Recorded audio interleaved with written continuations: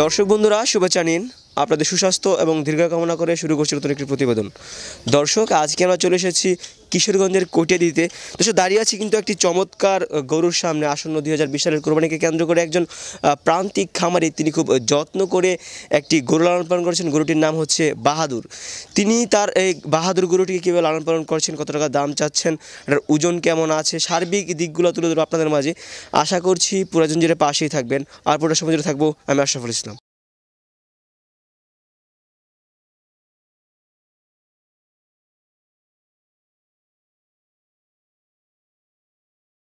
দর্শক আমরা দাঁড়িয়ে আছে একটি বিশাল আকৃতির গরুর সামনে। দেখতে পাচ্ছেন পিছনে একটি হলিস্টিয়ান ফ্রিজেন জাতের গরু রয়েছে। আসন্ন দুই হাজার বিশ সালের কোরবানিকে কেন্দ্র করে একজন প্রান্তিক খামারি এই গরুটিকে লালন পালন করছে। আমরা আপনাদের মাঝে এই গরু পালন সম্পর্কে বিস্তারিত তথ্য দেবো। ভাই আসসালামু আলাইকুম। ওয়ালাইকুম আসসালাম ভাই। কেমন আছেন আপনি? জি আলহামদুলিল্লাহ ভালো। আপনার ভালো আছেন? জি আলহামদুলিল্লাহ ভালো। নাম কি আপনার? আমার নাম মোহাম্মদ ইদ্রিস মিয়া। ইদ্রিস ভাই আমরা তো একটি বিশাল আকৃতির গরু দেখতে পাচ্ছি যেটা আপনি কোরবানির জন্য তৈরি করেছেন। প্রথমত এই গরু পালন সম্পর্কে জানব এটার কি নাম দেওয়া হয়েছে? এটার নাম দেওয়া হয়েছে বাহাদুর। বাহাদুর। বাহাদুর দেওয়ার কারণটা কি? এটা একটু হিংস্র ভাব তার মধ্যে এর জন্য বাহাদুরি দেখায় এর জন্য তাকে সবাই বাহাদুর বাহাদুর বলে ডাকে। আচ্ছা আপনি গরু পালন করেন কত বছর? গরু পালন করি আমার প্রায় সাড়ে তিন বছর। সাড়ে তিন বছর। এটা কি আপনার ফার্মের নাকি না কেনা বাজার আমার ফার্মের এবং আমার গাভীর বাচ্চা। গাভীর বাচ্চা। এটার বয়স কত? এটার বয়স তিন বছর। তিন বছর হয়ে গেছে। দাঁতে কয়টা? দাঁতে চারটা। চারটা। আচ্ছা এটার ওজন কতটুকু আছে? ওজন আছে প্রায় এক হাজার কেজি। প্রায় এক হাজার কেজি। আচ্ছা আমাদেরকে একটু বলবেন এই গরু সম্পর্কে এটাকে কী কীভাবে যত্ন করতে হয়? যেহেতু এটার ওজন অনেক বেশি এটা আলাদাভাবে একটু যত্ন করতে হয়। সারাদিনে কী কী কাজ করতে হয় এটাতে? এটার পিছনে সারাদিনে আপনার দেখা গেছে তাকে আলাদাভাবে দানাদার খাদ্য দিতে হয় এবং তাকে আলাদাভাবে মানে সব গরুর চেয়ে ভিন্নভাবে সে তার খাওয়ানা দিতে হয়। প্রতিদিন তাকে দানাদার প্রায় পনেরো থেকে বিশ কেজি খাবার দিতে হয়। এরপরে কাঁচা ঘাস আছে এরপরে আরও বিভিন্ন খাবার আছে কুল জাতীয় এবং ভিটামিন জাতীয় খাবার দিতে হয়। দানাদার খাবারের মধ্যে কী কী থাকছে? দানাদার খাবারের মধ্যে বুসি কুড়া কৈল এমনি প্রবিটা ফিট। আচ্ছা প্রত্যেক দিন কত টাকা খরচ হয় এই গরুর পিছনে?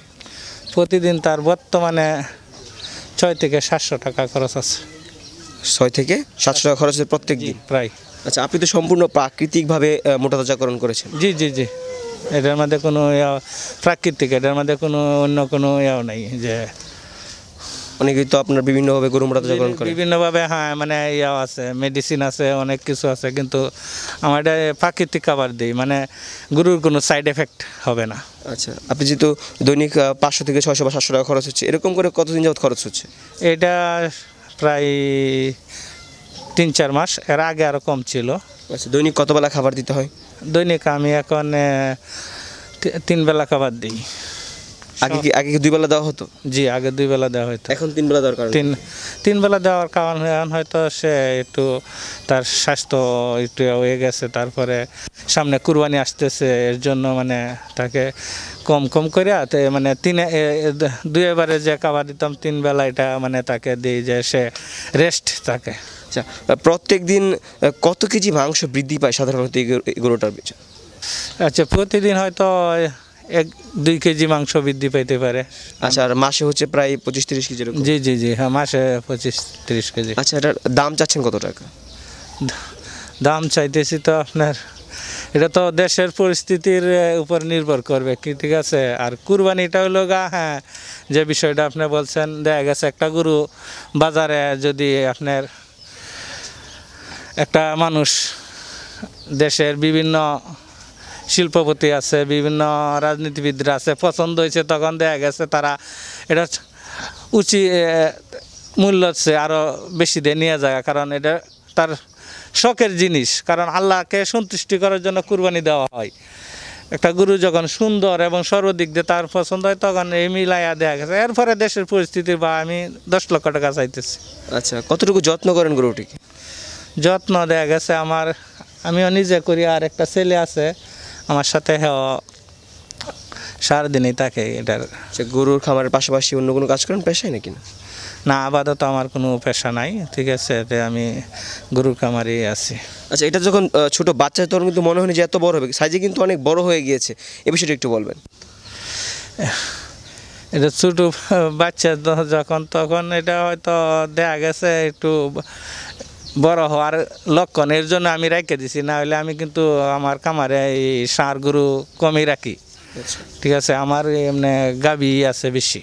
আচ্ছা কি চিন্তা ভাবনা করে এত একটি বড় তৈরি করলেন কুরবানির জন্য একটু সে বিষয়টা এটা এটা একটা রাখলাম যে শখ করে যে হ্যাঁ আমি একটা সার রাখলাম এলাকার মানুষ দেখল যে বা একটা ভালো একটা সার। আচ্ছা আমরা আপনার পিছনে একজন লোক দেখতে পাচ্ছি তিনি রশি ধরে আছে। চাচা আপনি আপনার সাথে কথা বলি। কেমন আছেন আপনি? আলহামদুলিল্লাহ ভালো? রাখছে। আমার নাম মোহাম্মদ কদ্দুস মিয়া। আপনি তো গরুটাকে রশি ধরে আছেন। গরুটা সম্পর্কে একটু আমাদেরকে বলবেন। গরুটা সম্পর্কে সে আমার ছোট ভাই। আচ্ছা। গরুটা মনে করেন হের নিজস্ব কাবির গড়ের তো এই গরুটার নমুনা একটু ভালো পরে আমিও বললাম যে এই গরুটা যেহেতু বড় একটা সার হবে তো এটা আর বিক্রি করে লাভ না এটা কুরবানির জন্য একটু তৈরি করো। তারপর সেও একটু আগ্রহ হইল পরে যেমন এটারে আপনার কাবার দাবার একটু আলাদাভাবে রাখছে আর কি। গাভীর সাথে তো হের গাভীর প্রাপ পরে গাভীর সাথে আর রাখছে না এক সাইডে রাখছে রাখে যেমন গরুটার একটু বড় সড়ো করছে আর কি। আচ্ছা আপনার কি মনে হচ্ছে দশ লক্ষ টাকা দাম চেয়েছে ন্যায্য মূল্য পাবে কি আপনি মনে করছেন? দেশের পরিস্থিতি মনে করেন যেহেতু বেশি ভালো না এটা হ্যাঁ তো আশা করতেছে এরপরে তৈল ভাগ্যের ব্যাপার স্যাপার আল্লাহ যদি রহমত করে তো পাইতেও পারে। হ্যাঁ তা আমরা তো আশা করি যদি আমার ছোটো ভাই পা ভালো। আর গরুটা তো ইনশাল্লাহ অনেক বড় সড়ো। ঠিক আছে? গরুটা প্রায় এই যে কইছে না এক হাজার কেজি না হলেও বেশি কম হবে না। মানে এক হাজার কেজির কাছাকাছি।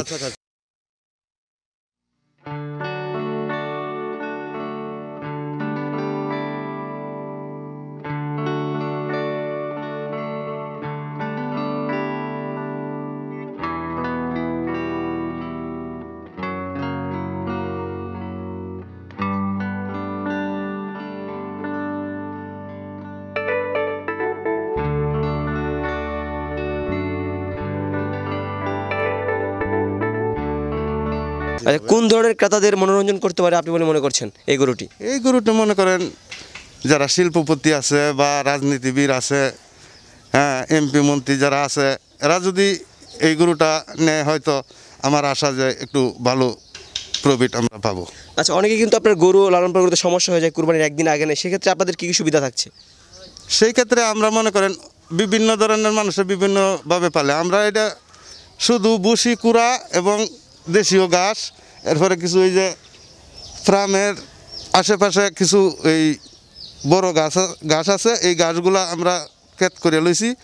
এই ক্ষেতের থেকে আনিয়া যেমন এই গাছের পরিমাণই বেশি। আচ্ছা আচ্ছা। আর এই যে মানুষে মোটা তাজা লাগি এই ভ্যাকসিন টেকসিন করে এগুলো আমরা করি না আচ্ছা আমাকে বলবেন যে যদি কেউ গরু নিতে চায় তাদের রাখার জায়গা নেই সেক্ষেত্রে আপনারা যতদিন রাখা সম্ভব রাখা যাবে কিনা? ইনশাল্লাহ যদি বিক্রি হয় যদি রাখার হেরার সমস্যা তাকে আমরা পাইলা দিব সমস্যা হবে না আচ্ছা পরিবহন পরিবহনটা যে বাংলাদেশের যে কোনো জায়গায় পাঠানো সম্ভব? হ্যাঁ ইনশাল্লাহ পরিবহনে পাঠানো সম্ভব রাস্তাঘাট ভালো আছে সমস্যা হবে না আচ্ছা আচ্ছা ধন্যবাদ। ভাই আমরা আসলে আপনার গরুটি থেকে সত্যি খুব ভালো লাগছে এবং চমৎকার একটি সার আপনি তৈরি করেছেন কুরবানিকে কেন্দ্র করে। আমরাও চাই যে আপনি ন্যায্য মূল্যে আপনার এই সারটি বিক্রি করেন। তো আর কিছু কি বলতে চান যারা দেখতে পাচ্ছে এই ভিডিওটি তাদেরকে নিয়ে? দর্শকের উদ্দেশ্যে আমার এটাই হ্যাঁ যে এলাকার যারা বিত্তমান আছে বা দেশের বিত্তমানরা আছে, যদি কারও হ্যাঁ নিতে চায়, তাহলে হ্যাঁ এই যে আপনার যদি তারা ন্যায্য মূল্য দেয় আমাকে হ্যাঁ আমার এখানে যত কুরবানির আগের দিন পর্যন্ত আমি হ্যাঁ তাদেরকে যতটুক আমার সমর্থ দিয়ে আমি এটা রেখে দিব এবং তাদেরকে পৌঁছানি পর্যন্ত আমি ব্যবস্থা করে দিব। আচ্ছা দর্শক ধন্যবাদ সময় দেওয়ার জন্য ভালো থাকবেন। কেমন? আসসালামু আলাইকুম। ওয়ালাইকুম আসসালাম।